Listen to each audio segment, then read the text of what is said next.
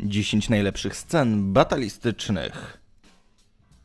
Gladiator, film kostiumowy produkcji USA z 2000 roku w reżyserii Ridleya Scotta, którego akcja dzieje się w czasach starożytnego Rzymu. Obok postaci historycznych jak Cezar Marek Aureliusz czy jego syn Commodus, występują też postacie fikcyjne jak generał Maximus. Ma on jednak kilka pierwowzorów historycznych. Maximus jest rzymskim generałem za czasów Marka Aureliusza i dowodzi wyprawą przeciw Germanom. Wyprawa kończy się sukcesem. Właśnie otwierająca film Bitwa z Germanami zasługuje na szczególną uwagę. Choć sama nie ma dużego znaczenia dla fabuły, to jest niezwykle efektowna i zjawiskowa. Bitwa na plaży. Film Troja, film fabularny z 2004 roku, będący adaptacją Iliady Homera z dodatkowymi wątkami zaczerpniętymi z Odysei oraz Eneidy Wergiliusza.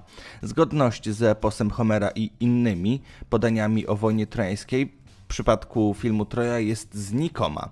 Między innymi całkowicie pominięto wszystkie wątki bogów, którzy aktywnie brali udział w wojnie, Filmowa wojna trwa zaledwie kilka tygodni, podczas gdy ta trwała 10 lat. W filmie Achilles zginie później niż w eposie, tam zginął podczas oblężenia, a w filmie dopiero podczas jej zagłady. Parys zginął w micie z powodu śmiertelnych ran zadanych od Filokteta. W filmie uchodzi z życiem. Tedyta, matka Achillesa, na filmie jest staruszką, zaś w micie była boginią i nigdy nie powinna była się zestarzeć. Mimo to film jest naprawdę dobry i zasługuje na szczególną uwagę bitwa na plaży przed Troją. Zjednoczone wojska greckie docierają do terytoriów trojańskich i przeprowadzają desant w bitwie ze strony greckiej. Bierze udział jedynie oddział Achillesa i Ajaxa, ale to dodaje smaczku i dzięki temu starcia są bardzo przejrzyste. Uczta dla oczu. Bitwa o obóz. Ponownie na liście film Troja. Chciałbym zaznaczyć, że zgodność wydarzeń spod Troi z filmem omawiam na kanale Światowa Historia i tam Was zapraszam. Wydaje mi się, że całkiem dokładnie to mówiłem. Tymczasem bitwa, kontratak Trojan, atak na obóz Greków. Poranny szturm przeprowadzony przez Hektora na pozycje greckie. Na początku widzimy marsz armii trojańskiej, następnie płonące kule i starcie żołnierzy, a na sam koniec rajd Myrmidomów. Bardzo pomysłowe przedstawienie, no i walka Patroklosa z Hektorem. Tym bardziej, że filmie twórcy postarali się, aby Patroklos i Achilles byli do siebie naprawdę bardzo podobni. Piraci z Karaibów na krańcu świata. Trzecia część przygód z serii Piraci z Karaibów o kapitanie Jacku Sparrow z 2007 roku. Jest ona kontynuacją poprzednich części Klątwa Czarnej Perły i Skrzynia Umarlaka. Na specjalną uwagę zasługuje bitwa piratów z Beckettem z ostatnich sekwencji filmu. Jest ona krótka, ale bardzo przemyślana, a przy okazji zaskakująca.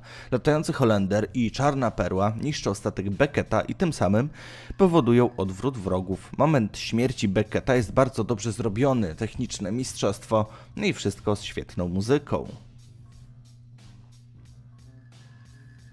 Bitwa pod Stirling. Braveheart to dramat historyczny produkcji amerykańskiej z 1995 roku w reżyserii Mela Gibsona, opowiadający o przywódcy szkockiego powstania przeciwko rządom Anglii Williamie Wallace'ie. Anglicy mordują żonę Wallace'a. Wydarzenie to jest momentem przełomowym w życiu młodego Szkota. Oszalały z rozpaczy William z pomocą innych mieszkańców wioski szturmem zdobywa pobliską angielską warownię. Wokół niego zaczynają się gromadzić tłumy Szkotów gotowe do walki ze znienawidzonymi Anglikami, a William otrzymuje przydomek Braveheart, waleczne serce. Dysponujący liczną armią król Edward I pacyfikuje szkockie wioski. Bitwa pod Stirling jest jednym z kluczowych momentów powstania szkockiego i została przedstawiona właśnie w filmie Braveheart. Jest oczywiście dużo niezgodności historycznych, jak na przykład Szkoci walczą w Kiltacha nie powinni, ale to nie zmienia faktu, że pod kątem filmowym scena wypadła naprawdę dobrze. Bitwa Bękartów Gra o Tron. Bitwa Bękartów to dziewiąty odcinek szóstego sezonu Gry o Tron. Jego premiera na antenie HBO miała miejsce 19 czerwca 2016 roku w Stanach Zjednoczonych i 20 czerwca w Polsce. W odcinku dochodzi do starcia armii Starków z armią Boltonów. Tytuł nawiązuje do dwóch Bękartów dowodzących armiami Johna Snowa i Ramseya Boltona. Przez wielu ta bitwa jest uważana za najlepszą bitwę całej serii i ma na to wpływ bez wątpienia gra na emocjach widza, co zresztą twórcy serialu robią mistrzowsko. Zwieńczeniem odcinka jest śmierć Ramseya Boltona. Wspaniałe.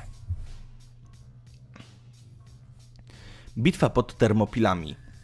300 to filmowa adaptacja komiksu Franka Millera.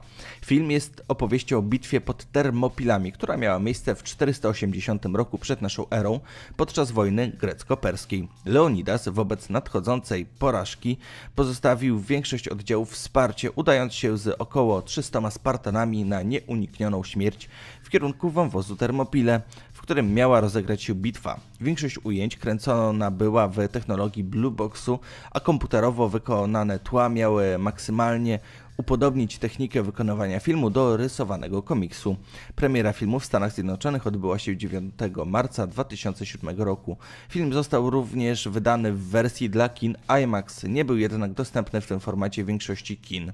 300 Spartan, jak dla mnie, to takie historyczne fantazy, przedstawienie wydarzeń historycznych w sposób zupełnie nierealny i na tej nierealności oraz widowiskowości bitwa pod termopilami wiele zyskała. Bitwa na polach Pelenoru.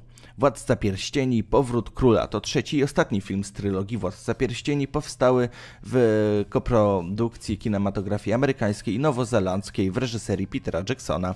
Światowa premiera filmu odbyła się 17 grudnia 2003 roku. W 2004 roku film zdobył 11 Oscarów we wszystkich kategoriach, w których go nominowano. Dochodzi tam do oblężenia Minas Tirith i bitwy na polach Pelenoru. Po zdobyciu przepraw na rzece w Osgiliath Wielkie wojska Mordoru forsują fortyfikacje otaczające przedpola miasta i przystępują do jego oblężenia. Szybko łamią opór obrońców i po krótkim czasie podejmują generalny szturm, kończący się zniszczeniem bramy Minas Tirith. Od pewnej klęski Gondorczyków ratuje przybycie odsieczy jeźdźców Rohanu. Oblężenie zostaje przerwane, a sojusznicy ścierają się z wojskami Saurona w bitwie na polach Pelenoru, rozciągających się wokół miasta. Wielki, olbrzymi rozmach, stosowanie wielu niecodziennych technologii oraz pojawienie się nietypowych rozwiązań, jak mumakile na zgule czy duchy. Bitwa o Winterfell, ponownie gra o tron. Jest to amerykański serial fantazy. Akcja serialu rozgrywa się na kontynencie Westeros, na którym znajduje się siedem królestw, po bliskim kontynencie Essos oraz okolicznych wyspach. Siedem królestw rozciąga się od położonego na północy muru do południowego Dorn.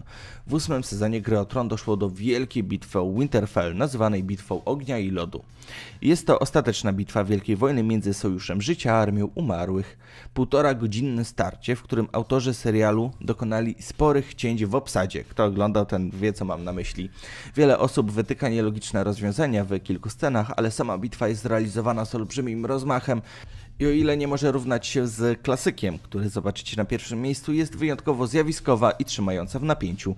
Twórcy zdecydowali się na manipulację emocjami widza i pełną niepewność w trakcie oglądania batalii. Poszło to kosztem logicznych rozwiązań, ale mi osobiście nie przeszkadza to ani trochę.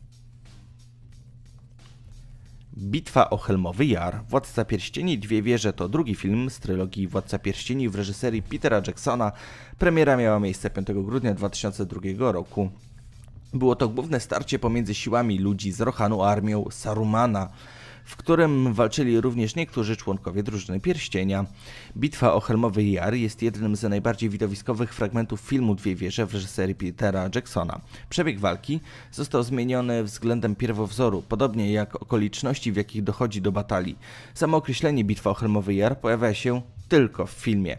Aktualnie to starcie jest uważane za przykład tego, jak należy kręcić sceny oblężeń. Dzięki za obejrzenie do końca, mam nadzieję, że ten odcinek Wam się podobał. Dajcie znać w komentarzu, o czym chcielibyście kolejną dyszkę oraz koniecznie zostawcie łapkę w górę oraz subskrypcję oraz zapraszam Was na kanał Światowa Historia, gdzie pojawiają się różnego rodzaju odcinki. Był odcinek m.in. o Grze o Tron oraz Władcy Pierścieni, także zapraszam.